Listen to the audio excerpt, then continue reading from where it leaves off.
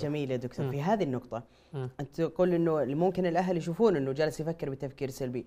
طيب هل هي مشكلة أصلا؟ يعني طيب وين فكر بتفكير سلبي؟ وين فكر إنه يعني دائما عنده تفكير سلبي متشائم آه وهذا سيقودني إلى سؤال آخر لكن دعني أمرر هذه المقطع طيب يا أخي أنا أنا كيف أكتشف إنه هذا أصلا مرض أو هذا مشكلة نفسية يجب علاجها؟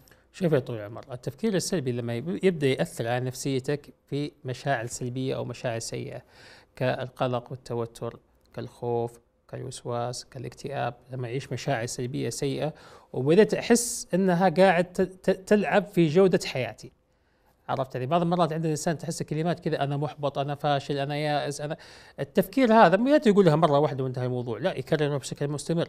لما يكرر بشكل مستمر إيش النتيجة الم- الم- المنطقية اللي راح تصير وراها السالفة هذه؟ اللي هو الشعور شعور الاكتئاب ضيق الصدر. فيبدا يدخل في دوامة الاكتئاب النفسي الانعزال البعد عن الناس النظرة الدونيه للنفس النظرة الدونيه للذات.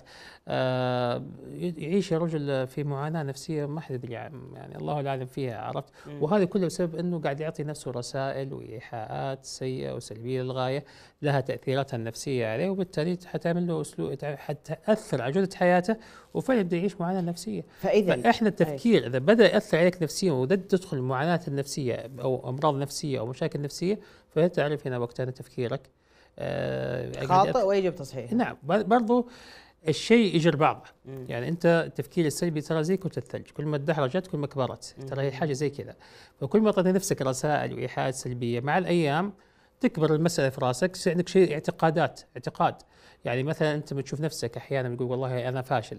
أنا فاشل دي ما جت كذا من من فراغ يعني عرفت كيف؟ ما جت إلا يا أن أحد كان دائما يتلفظ عليك أنك فاشل فأنت حساس صدقتها وأخذتها في نفسك يا أن أنت تعطي نفسك هالإيحاءات السلبية باستمرار. فهي زي اللي إيش يعني يقول لك في مثل أو في زي ما يقال إن كثرة الدق يشفك فك الحديد. يفك الح... يعني كثرة الدق يفك اللحام يفك الحديد.